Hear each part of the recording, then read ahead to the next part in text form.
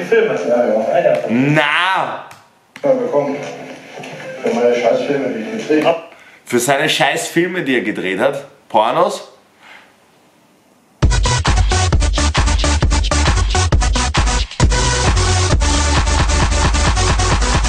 Ja Leute, was geht ab? Maximilian am Start und ich begrüße euch zu einem neuen Video auf meinem Kanal.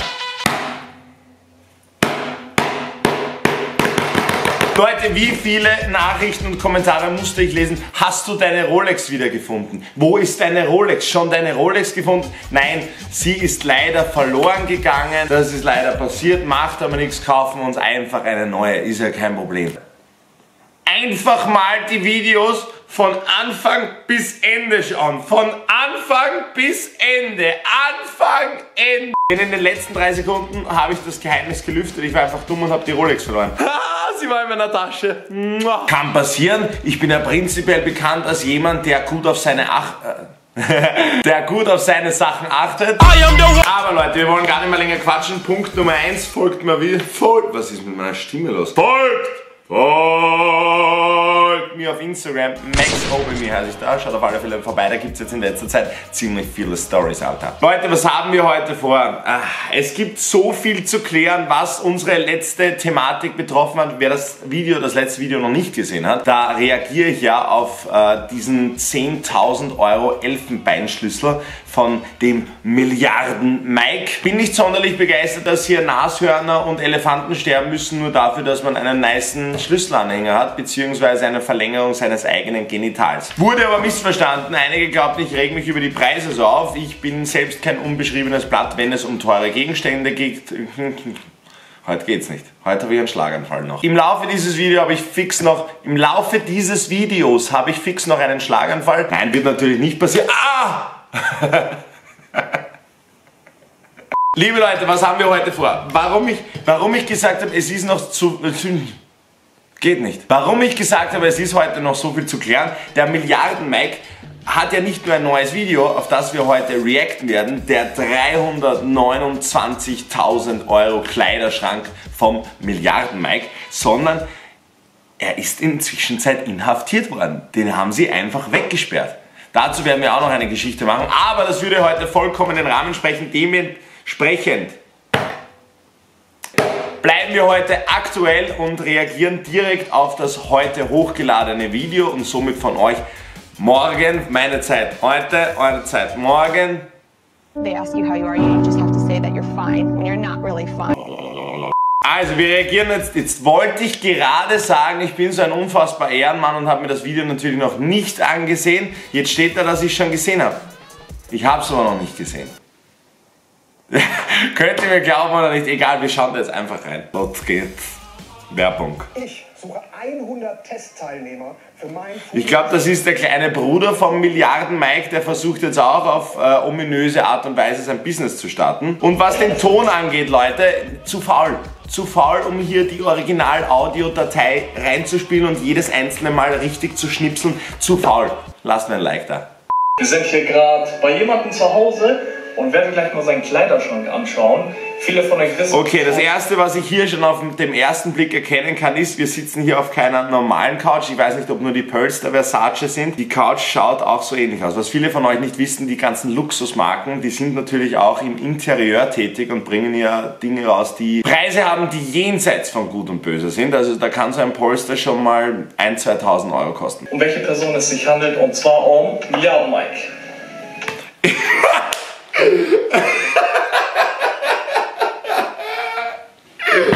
Wie er schon da sitzt. Und zwar handelt es sich Um Ja Mike. Und dann sitzt er so, ich bin der Milliarden-Mike, ich weiß jetzt schon, dass sie mich gleich einsperren werden, aber egal, ich habe noch eine halbe Stunde, drehen wir kurz dieses Video. Was läuft Mike? Ich komme mal rüber zu dir. Alles klar? Ja, muss ja, ne? safe, safe ist alles klar mit ihm. Du, für mich wäre es auch nicht schlimm, wenn ich wüsste, dass ich in ein, zwei Tagen eingebuchtet wäre, bei dem ist alles im Grünen. Die Frage gestellt, ob wir mal zu dir nach Hause gehen sollten. Ja, und ich habe viele Nachrichten bekommen. Die würden alle gerne mal so ein bisschen äh, deinen Kleiderschrank sehen, ob du mal ein paar Klamotten zeigen könntest. Und ja, Mike hat auf jeden Fall äh, zugesagt, ich habe ihn gefragt, er ist auf jeden Fall ganz korrekt und offen gewesen, meinte, ja, Leon, komm noch vorbei, kannst du gerne alles zeigen. Und ja, ich sehe schon hier im Wohnzimmer direkt schon auch Versace-Kissen. Das erste Kissen, wo Lion drauf gesessen Hm. Das erste Kissen, wo Lion drauf gesessen ist, nach Tür. Kannst du dich jetzt zusammenreißen? Ah.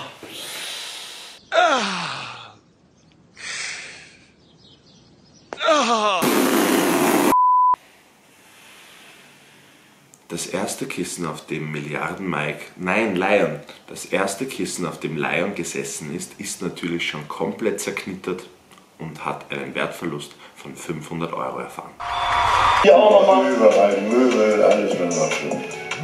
Das auch Versace. Alles Versace. Ja, da habe ich gesagt, Versace, auch das Mobiliar, ist Geschmackssache, aber mich spricht es jetzt nicht an und ich finde auch nicht, dass das irgendwie anders aussieht als wie von einem herkömmlichen Möbelhaus. Äh, was ist denn heute los? Ein herkömmliches Möbelhaus. Echt jetzt? Ja, natürlich. Was kostet denn so eine Couch von Versace?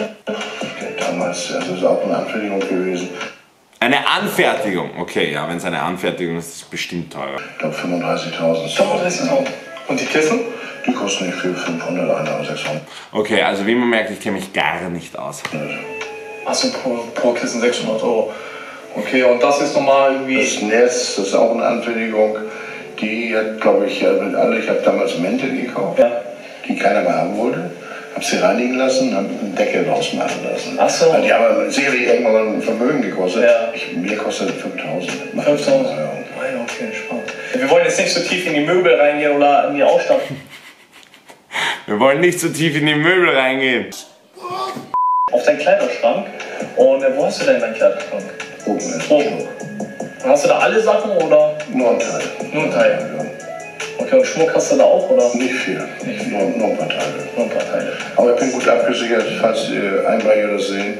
Äh, bei mir ist Fort Knox, alles Kameraüberwacht, Alarm, Ja. äh, Bewegungsmelder, alles was dazu gehört. Ne? Ja, das hätte ich mir auch vorher überlegen sollen, bevor sie bei mir eingebrochen sind. Also hier hat man gar keine, Keine Chance, keine Chance. Äh, wenn einer reinkommt, kommt er auch nicht wieder raus.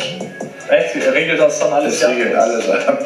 Es riegelt alles ab. Ich brauche eigentlich gar nicht reden heute. Wir filmen auf jeden Fall nur von drinnen, Leute, damit man nicht sehen kann, wo du genau wohnst. Das Ne? Das weiß nur ich, Leute. Und wenn wir morgen äh, ein paar Sachen filmen, dann weiß Mike auch da direkt, was ich Ja, okay, Mike, dann würde ich mal sagen, gehen wir mal hoch zu, zu deinem Kleiderschrank. Also was ich mich ja die ganze Zeit frage, ich kann mir nicht vorstellen, dass äh, Lion einfach auf der Straße rumgeht, zufällig einen Typen trifft, der Milliarden Mike heißt und äh, die sind so gut im Gespräch miteinander, dass er auch noch nach Hause eingeladen wird. Ich glaube eher, dass das eine Publicity-Geschichte ist, genauso wie das vermutlich auch bei UFO war, der sein neues Album bewerben wollte und deswegen auf einen YouTuber zurückgegriffen hat, der sein Outfit filmt. Und ich glaube auch hier war das so. Er will ja sein Buch bewerben, ich habe alle abgezockt und ich glaube für die Geschichte macht so ein bisschen die Werbetrommel und da ist ihm natürlich jedes Mittel recht.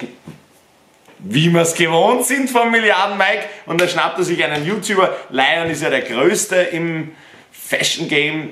Ah, ist Lion ein richtiger Fashion-YouTuber? Wie auch immer. Und das macht er natürlich klug, um sein Buch natürlich hier zu bewerben und noch ein bisschen mehr Wirbel um seine Person zu machen. Und für Lion mega praktisch, der hat super Videocontent. Was du so hast. Oder? Alles normal. Okay. okay, Leute, wir sind jetzt hier oben und das sieht auf jeden Fall alles schon heftig aus, Leute. Ich zeige euch das gleich noch ein bisschen weiter. Äh, Mike, wo ist denn jetzt dein Kleiderschrank? Der ist hier aus ziemlich dunkel, oder? Zeig mal mal kurz. Kann man schlecht. Ah, ist ein bisschen enger, ne? Ist eng zu eng, ja. Ja, okay, dann würde ich sagen, ähm, seine teuersten Sachen mal raus und dann gucken wir mal, was du so hast. Okay, mal an. Was haben wir hier? Wie jetzt? Der nimmt jetzt einzeln jedes Stück raus und wir schauen uns das im Gang an, oder was? Bah. Auch wieder mit Schlange besetzt.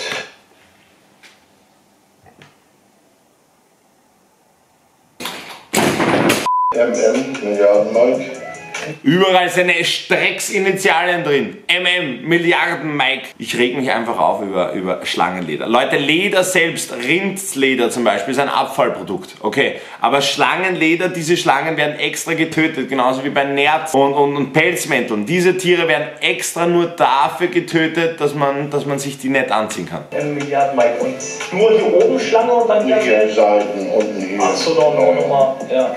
Ja, nicht mein Geschmack sieht, Milliarden Mike ist natürlich nicht am neuesten Stand der Mode. Das muss einem natürlich klar sein. Das ist keine Fashion-Ikone, sondern das ist jemand, der viel Geld hat und viel Geld für Klamotten ausgibt, die dann im Endeffekt so hingewichst aussehen wie diese Hausmeister-Lederjacke. Also muss man auch dazu sagen. Gut, wir haben diese Jacke. Über die quatscht er jetzt ewig. 40.000 hat er, glaube ich, gesagt. Schauen wir mal, was er da jetzt als nächstes aus seinem Kammerl herauszieht und da im Gang präsentiert.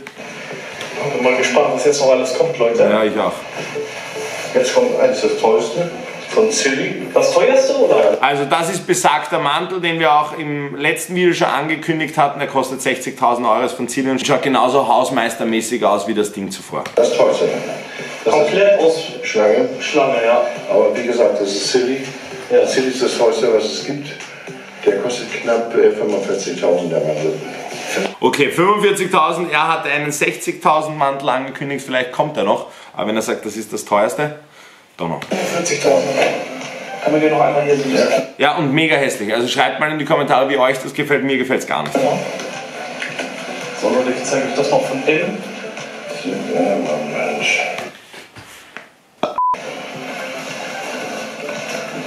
Okay, jetzt kriegt er nicht einmal seine Ziegenknöpfe auf oder so. Na, So. Oh ja, hier komplett Silly, all over printed von innen. Hier drin hat man auch nochmal so ein bisschen Schaut auch sehr altbacken aus. Also wirklich so, als hätte er dieses Ding schon seit 20, 30 Jahren in seinem Abstellkammer hängen. Schlangenleder, ne? Alles, alles komplett. Oh, das sieht interessant aus. Ein dicker Pelzmantel. Das ist ein Nerzmantel. Ah! Nerzmantel. Natürlich wieder bestickt mit Milliarden Mike. Mir kommt das kalte Kotzen. auch eine Sonderanfertigung. Ja. Komm mal ruhig ein bisschen ran, Zacker. Gibt Und auch richtig hässlich reingestickt das Ganze. Also wirklich qualitätslos eigentlich. Wenn das Ding so teuer ist, dann hätte man den Stick auch noch hochwertiger machen können. ein bisschen ran, Zacker. Ja, ja, schlecht. Schlecht gemacht. So als hätte er sich das selber mit der Nähmaschine reingestickt. Und da ist schon gerissen. Ja, der super tolle Mantel um 45.000 Euro. Qualitätsware von Zilli, na sicher. Komplett aus dem Herzen. Ja, Was zahlt man denn dafür? der kostet knapp 50. 50.000 50.000 Euro für einen Mantel, der sich schon auflöst. Euro. Für diesen Mantel. Diesen Mantel, Hast du den oft an? ja. Nur im Winter. Und nur im Winter. Nur im Winter. Ich würde ihn ganz sehen im Sommer mit Tanktop, mit diesem Nerzmantel. Das ist wirklich richtig kalt ist, ne? Ja. Obwohl kriegt man Und da steht hinten auch noch drauf. Das heißt, wenn der jetzt so geht mit seinem Nerzmantel, steht da hinten fett Milliarden Mike rum. Das ist so, als würde ich den ganzen Tag mit meinem eigenen Merch herumlaufen. Egal wo ich hingehe, ich habe immer meinen eigenen Merch an, weil ich mich selber so unfassbar feiere. Genauso peinlich wäre das. so einen Nerzmantel her. Ja, anfertigen lassen. Anfertigen. Nerzmantel. Das ist auch ein sehr, sehr teures Stück. Die Marke ist ja in Hamburg auch vertreten. Les Marron. Kann man das lesen? Les Marron noch nie gehört. Noch nie gehört, aber wie gesagt, ich bin kein Profi in dieser Sparte. Auch nicht mein Fall. Also, wie ich es mir schon gedacht habe, da ist nichts, noch nichts, noch nichts dabei, was meinem Stil entsprechen würde. Das Marron.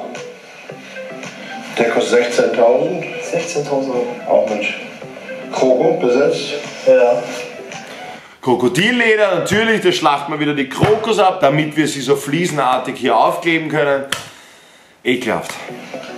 Hier oben auch wieder. Ähm, Oben natürlich wieder sein Logo, Milliarden Mike. ähm, Milliarden Mal, ne? Und ähm, die ganzen Sachen hier, ne? Du kriegst ja nur Mäntel, oder? Nicht nur auch Jacken viele. Viele Jacken auch. Er hat nur Mäntel. Du hast relativ viele Mäntel, oder? Na, na, na, Jacken habe ich auch. Ah, okay. Okay, das waren jetzt erstmal die Mäntel. Gibt's noch mehr Mäntel? Ja, natürlich, das ist doch Kaschenhemd. Okay, langweilig. Äh, jetzt kommt irgendein Anzugsverschnitt, Blödsinn. Okay, das könnte vielleicht interessant werden. 6000. Jetzt haben wir mal Der Stoff, also vom Innenlogo so ein bisschen Philipp Plein-mäßig. Philipp Plein. Ah. Ja, die kostet 6.000. 6.000 Euro.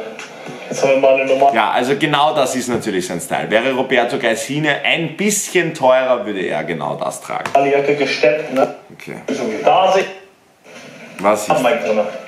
Und natürlich, in jedem Scheißdreck-Ding hat er seinen Namen eingestickt. Mich würde es nicht wundern, wenn er auf seinem Klopapier Milliarden Mike stehen hat, sodass er sich jedes Mal seine eigene Scheiße in seinen Drecksnamen schmiert. Sorry, ich muss dazu sagen, ich übertreibe natürlich ein bisschen. Ja, Reaction, halli, hallo, Entertainment, willkommen im Club. Aber es kackt mich schon an. Es regt mich schon auf, äh, wenn hier solche Dinge gekauft werden, die auch noch kacke aussehen. Okay, Milliarden Mike hatte vermutlich auch einen Schlaganfall. Das dauert jetzt die nächsten zwölf Minuten, bis der wieder rauskommt. Da ist er wieder. Oh! Die Uhren! Ja, Freunde, lasst uns zu was Spannenderen. Lasst uns zu etwas Spannenderem kommen. Kommen wir zu den Uhren. Wir haben hier schon, wie wir es gehört haben, eine Hublot. Mit Diamanten besetzt, iced out. Das sieht man am ersten Blick, dass das eine AP ist. Das ist einfach genau das gleiche wie die Uhr, die er davor schon getragen hat. Aber ich habe kurz davor natürlich Hublot vernommen. Ja, peinlich von mir. Voll besetzt mit Brill. Also die gleiche, die er in Silber hat. Ja, Gold finde ich kacke. in. Glasboden hinten. Ah ja. Zeig mal ein bisschen die Kamera, oder? Also circa. Ja, aber die schaut schon nice aus, gell? Würde mich interessieren, was die kostet. Seine silberne kostet ja 170.000. Gold ist meistens etwas teurer. Wir, wir schauen jetzt gleich, die wird noch umgedreht mit Glasboden hinten. sieht man es gut? Audemars Piquet, voll mit Brillanten. Was kostet die? Die kostet 168. Also 2000 Euro billiger als die silberne. 168.000 Euro. Wahnsinn. Die, die ist teuer hier. Die ist Platin. Ah, Platin. Wow, die ist schon geil, gell? Also die ist Bombe. Hast du die auch noch in Komplettgold? Nee. Nee, habe ich habe ich auch verkauft. Achso, okay. Ich muss mal, das ist meine Arbeit, wo hier die trage, wenn ich im Urlaub bin. Die kostet, glaube ich, 14.000 oder ich kostet. Ja, das ist eine Deep Sea, das sieht man gleich daran, dass sie so dick ist. Mit der kannst du, glaube ich, bis 200 oder 300 Meter runtertauchen, ohne dass was passiert. Deswegen ist die so fett. Boah, die ist aber schwer. Tipsy, eine Rolex Tipsy, die kostet 14.000. Gefällt mir persönlich überhaupt nicht. Also, pff, ja, Geschmackssache. Also die, du im Urlaub, weil... Urlaub oder vielleicht mal so. Weil er so viel tauchen geht. Sport geht oder so, kannst du so sagen. Da kennt ja, ja. Wer kennt's nicht? Beim Sport eine Rolex um. So, Leute, wir gehen jetzt nochmal runter. Mike hat auch noch ein paar Sachen. Das Haus selber finde ich jetzt nicht äh, einem Milliardär entsprechend. Was meint ihr dazu? Also allein jetzt schon diese Holzreling hier runter schaut aus wie in einem ganz normalen Einfamilienhaus. Donno, also nicht Milliardärslike. Auch, dass er seinen, seinen Schrank gar nicht herzeigt, finde ich etwas strange. Mike, was ist das denn hier? Ein Stern. Ja, ich noch. Der deinen Namen trägt, Milliarden Mike zerlegt, die Schlangen heute Nacht. Für meine Scheißfilme, die ich gedreht habe. Achso, für die Filme. Ja, ja. Ah, ja. Na, Ja, bekommen. Für meine Scheißfilme, die ich gedreht habe. für seine scheiß Filme, die er gedreht hat, Pornos, hat nicht mal die, diese, diese, zack, die Bohne, wie heißt die schnell? Ja, wie heißt die schnell? Egal, irgendwas mit G. Hatte nicht mal er einen Porno mit, mit ihr oder war das ein anderer Millionär oder Milliardär? Schreibt mir das in die Kommentare, das würde mich echt interessieren. Achso, für die Filme. Ja, ja. Ah, ja, okay. So, hier haben wir jetzt noch eine. Genauso hässlich wie alles andere. Einfach nur hässlich. Wer zieht sowas an? Äh, Schlangenlederjacke. Kostenpunkt 20.000. Welche Marke? Zilli? Ja, alles nur Silly. Alles Zilli. Was hat man dafür? 25.000. Die kostet 45. 45